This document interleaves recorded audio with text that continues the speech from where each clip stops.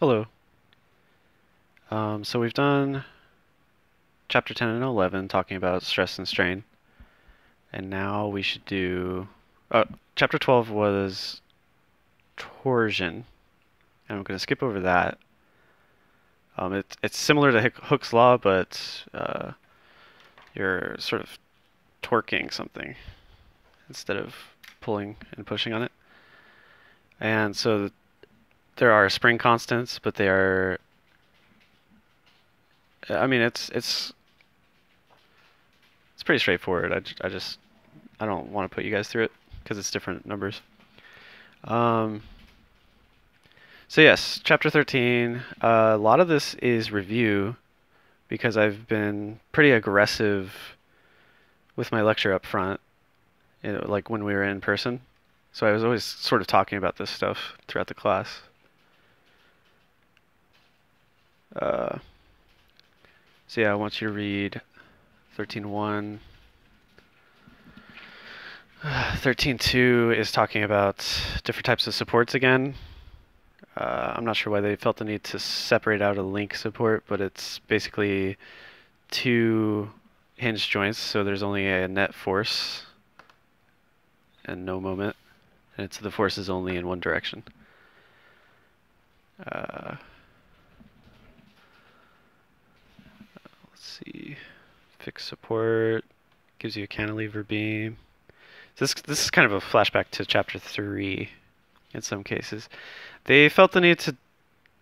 Uh, well, I I know why they did this. Uh, they're saying a simply supported beam has two supports on each end, and an overhang has two supports with extra beam out from it. And so they have all these different types of cantilevers as well. Oh, that's cool. Is that over constraint? Huh. These are over constraint too. And so they'll point to a chart with formulas, and then you'll be able to use the chart. Um, I'm not. I'm not going to require you guys to do that, but uh, yeah, I guess they're going to have formulas for over over constrained problems, which would be handy. Yeah, right here, statically indeterminate. So yeah, you you have two fixed supports, so that's um, six reactions. So you're not going to solve for six different reactions in any meaningful way by hand without material properties. Oh, maybe maybe they go that far in. Um, So we've gone over point loads, distributed load, and I skipped over uh, linearly varying load here. Um, and it was back in chapter 3, and maybe I should have gone over it then. Um, basically, if you're solving for the reactions and you have a linearly varying load, which looks like, um, say here's your beam, and you have some sort of uh, ramping load as it approaches one end, then what you're going to do is you're going to say that the total load on this is the area. So, you know, the the value will be so force at a point would be like one half base times height. So that's the area of a triangle. And then its location will be one third you know this length you know so the triangle's length it'll be located one third over from the the base so you know i i should specifically say you know if your if your triangle was like this so this would be your you know, base, and this would be your height. Um, so its point center load would be right there, one third base over.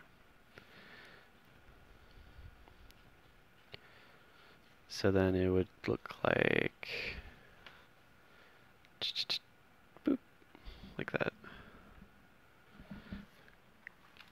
Okay, so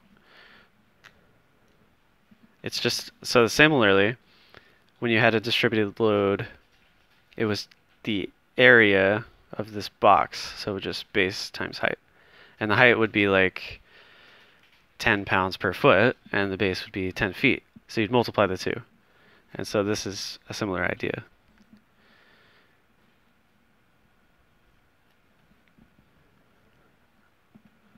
And this is called what, a centroid? So you're finding the centroid of a triangle. Centroid of a rectangle is just in the, in the center.